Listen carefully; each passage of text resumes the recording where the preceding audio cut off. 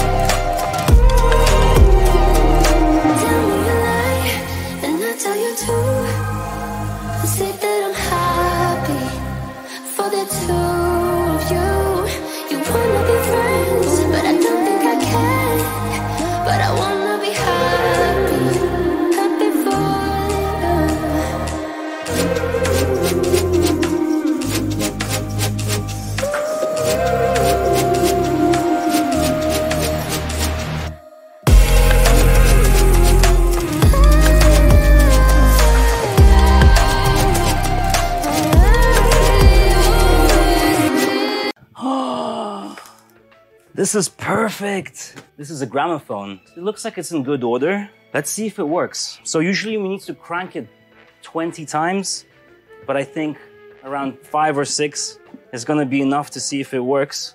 Let's put the needle on and press the on switch. I think it's this one. All right, it definitely works. So I think we can flip this. This definitely has a good market niche. Let's see how much we can buy it for.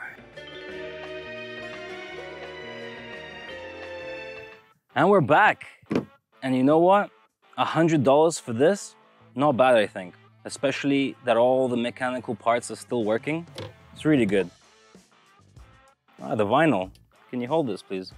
Thanks. Okay, so the vinyl table seems to be in really good shape. I'm just seeing some little blemishes and rust on all the metal pieces. We're gonna fix that. I think we have to pay a lot of attention to the handle where I'm gonna put a uh, leather band around. We're gonna stitch it up and uh, it's gonna look real crisp. The inside is more or less okay. I think only refreshing the logo with some gold paint or gold leaf just so it pops out. What we really need to pay attention to is the outside. It's seen a lot of wear and tear, and I think this is what's going to be the most time consuming. Let's spray some WD-40 on this screw so we can release the label holder, and that way we'll be able to restore the beautiful logo. Look how brand new it looks. Amazing. Now that it's off, we can easily work on the logo by applying some textile gold paint on the existing pattern. Time to remove some rust and make this metal shiny again. Let's use the rotary tool for this.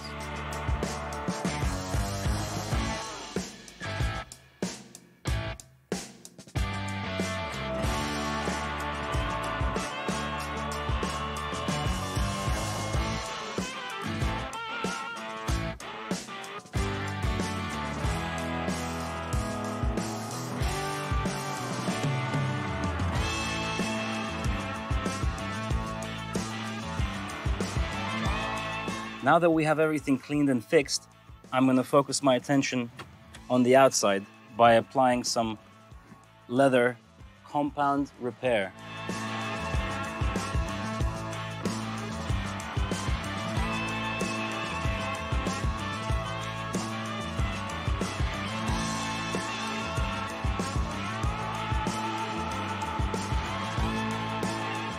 I've left the repair compound to sit for five hours and I'm using this rag to get the texture of the leather. Now all that's left to do is paint the outside black and fix all the blemishes.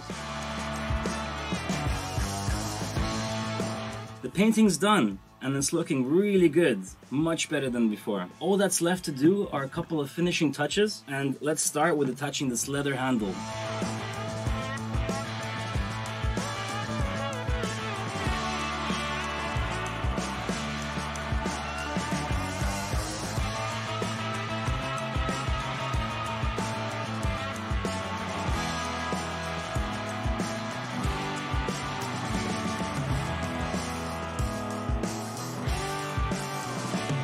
All right, guys, it's finally done, and I must say it's looking pretty good. Now all we have to do is upload it to an online bid and see for how much we can flip it.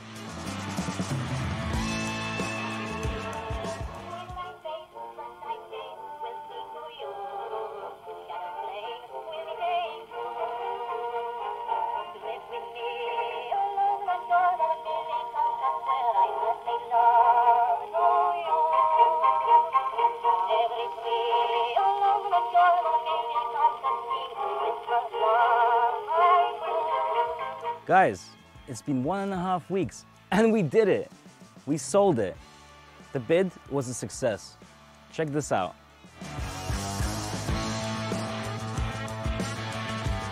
We bought it for $100. We put in around $40 worth of materials into it. We sold it for $348. That gives us $208 of profit. How good is that? Guys, let me know next time what you want me to flip. See you later.